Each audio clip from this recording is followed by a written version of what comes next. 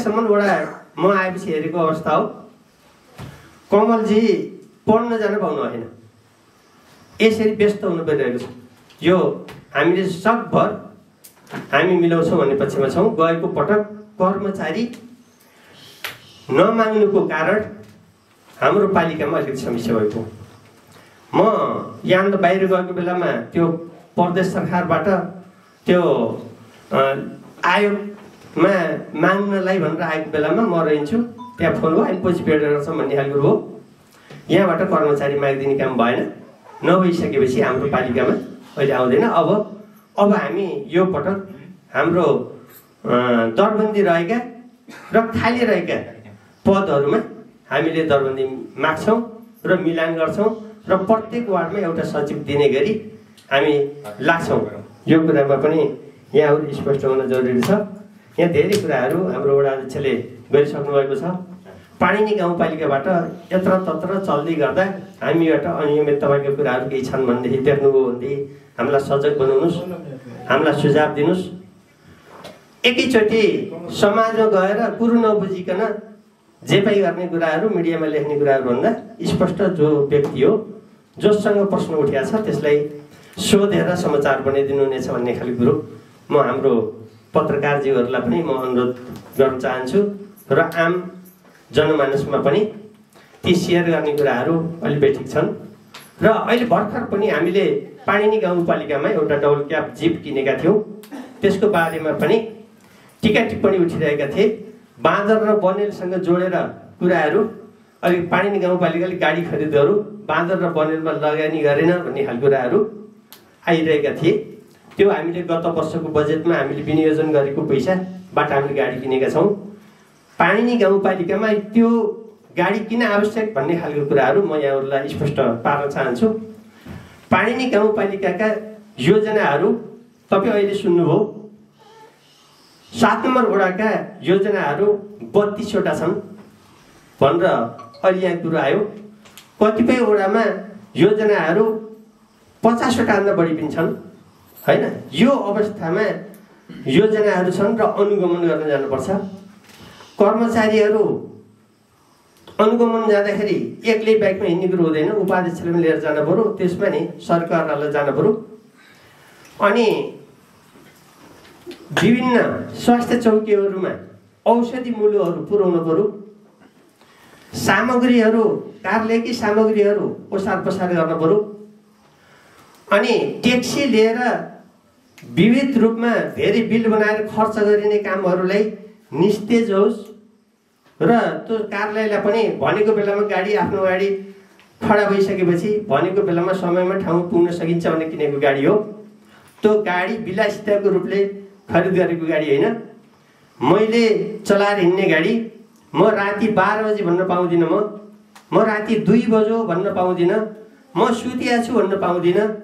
कुनै ठाउँमा घटना होला। कुनै ठाउँमा के होला? हिँड्न पर्ने भएको हुनाले एउटा अध्यक्षलाई गाडी चाहिने भएको हुनाले पूर्व अध्यक्षले चलाएको त्यही पुरानो गाडी म चलाएर हिँडेको छु। र हामी विलासिताको ठाउँमा हामी छैनौँ।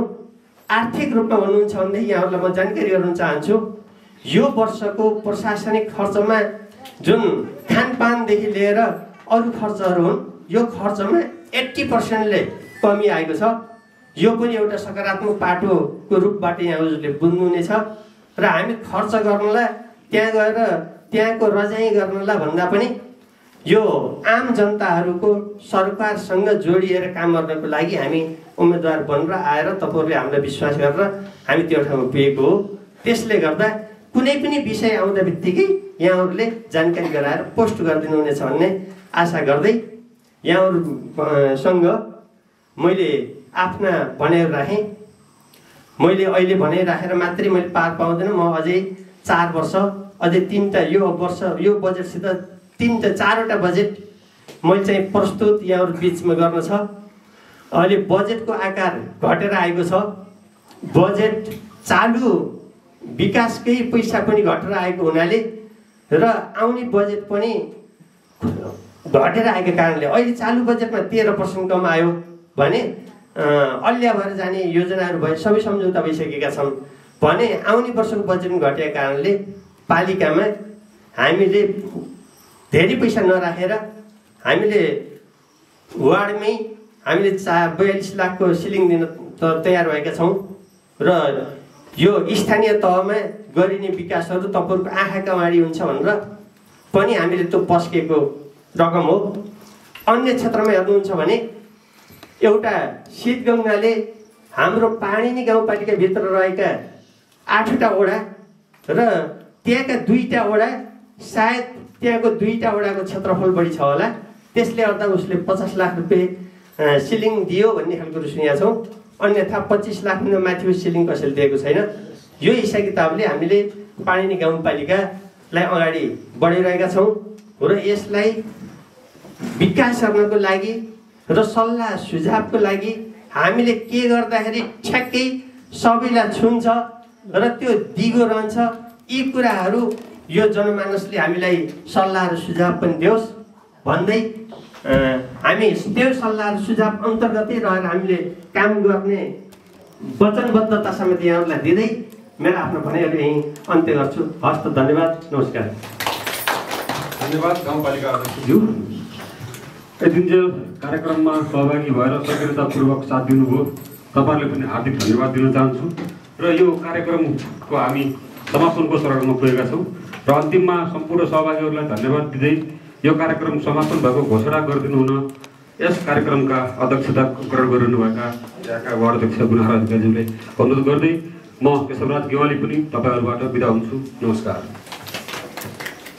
धन्यवाद। कार्यक्रम सञ्चालकज्यू आज हाम्रो वडामा करिब सम्पन्न भइसकेको सार्वजनिक सुनाइ कार्यक्रमका विशिष्ट अतिथि लगायत सम्पूर्ण ज्येष्ठ आसीन अतिथिज्यूहरू र यो कार्यक्रममा सहभागी हुनुभएका सम्पूर्ण विद्यालय सङ्घ संस्था र उपभोक्ता समितिको तर्फबाट प्रतिनिधि गर्दै आउनुभएका सम्पूर्ण प्रतिनिधि मित्रहरू सञ्चारकर्मी मित्रहरू र हाँसीबडी हाउस प्रालिका सम्पूर्ण पदाधिकारी तथा सदस्यज्यूहरू अरू अन्य विषयका प्रसङ्गहरू त हामी यहाँ भइसकेका छौँ। र यो कार्यक्रम धेरै कुरा नगरिकन समय पनि अलिकति ढिला भइसकेको छ।